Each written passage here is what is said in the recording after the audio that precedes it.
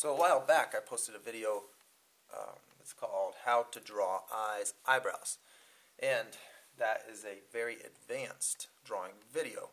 And I've noticed that, you know, a lot of times you get into a drawing, you just don't even know where to start. And I want to take a minute and talk about how to piece together something like that. You know, we could talk all day long about how to do all the fancy shadows and everything that are and all of the little details of an eyeball, but really what you need from the start is how to get things in the right place.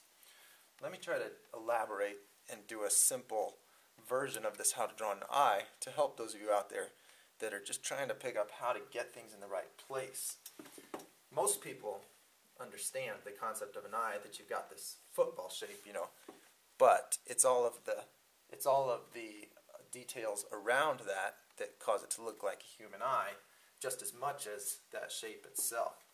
So you have uh, in every eye there are things that every eye has in common and there are things that are unique. So let's focus on the things that every every eye has in common and then you can build within those guidelines. The arch top and then you have this you know, I'm to make I'm going to make this big so you can see real well. Okay. So an eye has the upper eyelid. The corner of the eye pops out from that and goes in towards the nose. So you see this little shape I'm making. Notice this corner here. Every single eye has that. Okay, then there's another one. If you were to draw a line slightly diagonal, that's where the next corner is. And then this under eyelid arches downward. It doesn't arch as much as the upper eyelid. That's another thing that just about every eye has in common. So to make your eye look normal, this arch should be less arched than this one. So let me bring that up. Now a typical eye, these will be pretty much level, but I will tell you that a more feminine looking eye tends to be downward slanted so that this corner is a little higher. And I think that comes from not having as deep of an eye socket. It's just the way the skin comes around the eyeball here. So if I were to slant eyes more downward on a person, it would look a little more feminine. And if I were to tilt it the other way, it's a little more of a masculine, masculine look with the eyes tilted like this. Anyway, back on subject. Um, we've got this corner. You can see mine's a little higher than this one, so I'm drawing this eye at kind of an angle. They typically be more level. And then you've got the eye, iris, Okay, so let's do the eyeball part. And that, unless the eye is really opened wide, it doesn't show the entire iris. But it would if it was open real wide. So if you want to make someone look real surprised, you show the whole thing. Now, I've got this shape. There's always a shadow here. And so let's do this. We've got this layer of skin that's kind of heavier here. Let's make a shadow. And then this is a very important part. There's basic boundaries around the shadowing of an iris. And so you go like this. See this area I made? That is the lighter area. That's lighter because light comes into anything like an eyeball, a drop of water, like I explained in my other video. The way that that retina bends the light is in a way that anything coming from the top will bounce out of the bottom side. That's what you'll see. So the bottom is lit not only from that, but also from the shadow of the eyelid on the top. So why did I draw this line? That line doesn't exist on an eyeball. It's just a boundary line. And I use those a lot in all of my drawings. So let's start filling this in. This is the more shadowed part of the eye. Okay. Now the natural coloring of an eye is darker towards the edge of the iris right here. Let's go like this. Right, then we're going to make the pupil in here. Let's leave a spot empty though, so that we have some reflection showing. See what I'm saying? Doing a YouTube video. Okay, you can see I've got this boundary line drawn. And so I'm going to start erasing this part of it here. And then you'll see just by tapering my lines, I'll just do these lines on the retina part of the eye, and I'll taper them off, make them less and less as they come down. Just following the edge of that circle. So this technique you might use if you were doing just a sketch, maybe a rendering for a job or just doing a quick sketch to decide your more detailed stuff later. Then uh, finish this pupil, leave some reflection in here. So you've got all this shadow. This is, this is a real nice general format to make an eye look natural from the start. So then I, I can put these extra lines in here showing that this showing that this eyelid here has some depth to it. And then I can define this shadow here more because I the bigger I make the shadow, the heavier it makes that upper eyelid look. So if I make the shadow real big, that eye's going to start looking real sleepy. So we go like this. Right, then this area is usually, um, you know, you'll usually see little dots of reflection in there. I guess I could fill it in and kind of just leave like a bright spot in there for an example. I mean, it is kind of a red color, so when, when you translate things to black and white, it's pretty dark. Uh, red is typically a dark color. Okay, another very important part of the anatomy of every eye is this upper eyelid. So watch this line that I'm going to make. It just arches and just follows the shape of the eye.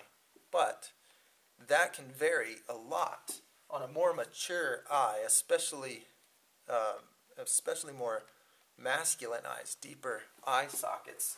This upper part will start to flatten out like this because that's the skin kind of sagging down over the top. And so you have this flat part and then you have this coming down like that and then you might have more shadows here where it's tapering out to the rest of the eye socket like so. Okay, so now this is a little more of a mature, a little older eye. If I wanted to make it a more infant looking eye, you know, a little more of a baby's eye, then I would have I would have this just be a smooth like that, a little more of a feminine look uh, on on ladies or or on babies, and a baby's eye would have a lot less of this part right here. That would be a lot smaller, and the eye would be. But I'm not going to erase that.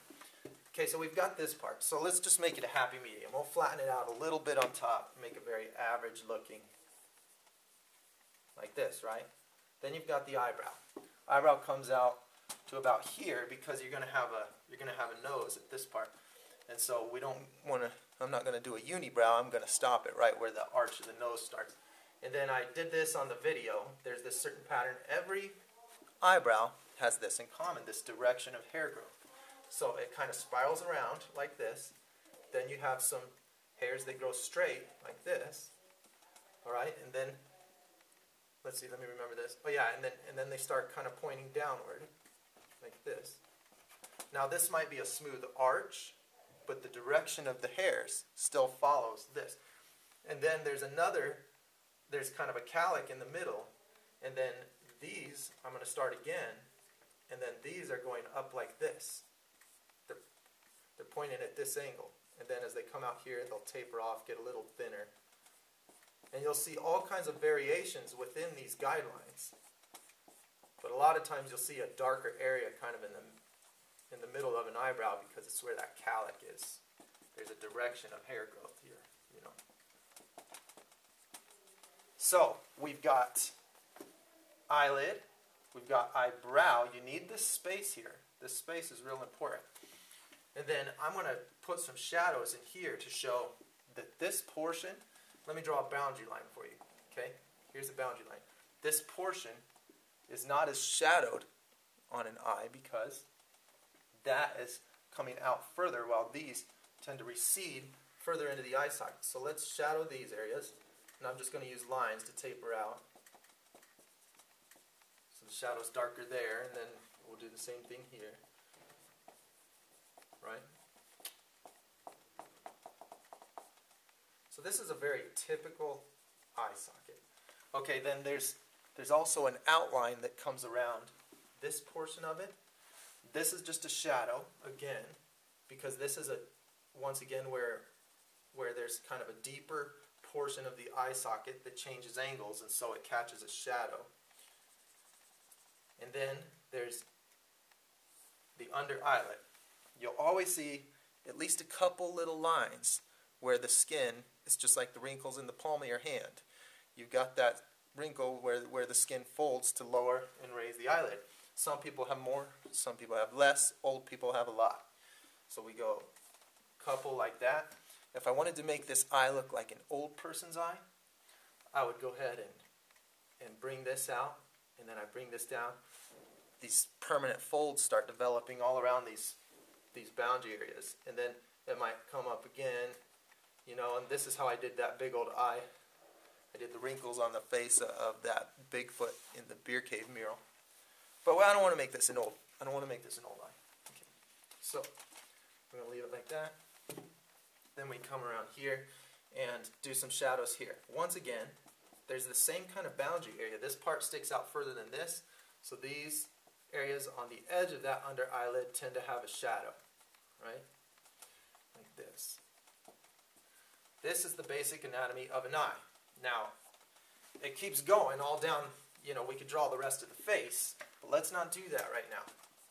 I'm going to show you how to place a couple of eyes on a face so that you can get them, you know, because that's the struggle is, is like, okay, you see all the different parts of the eye, but how do I, why does my eye look stupid still? You know what I'm saying? So let's get it on a face, make it look right. Erase this guy.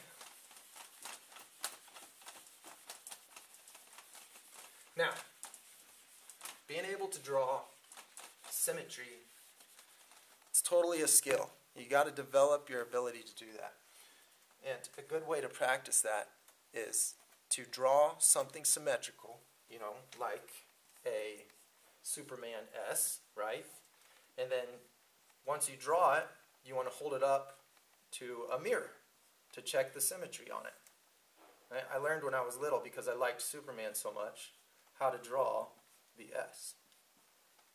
You know what I'm saying? Like goes like that.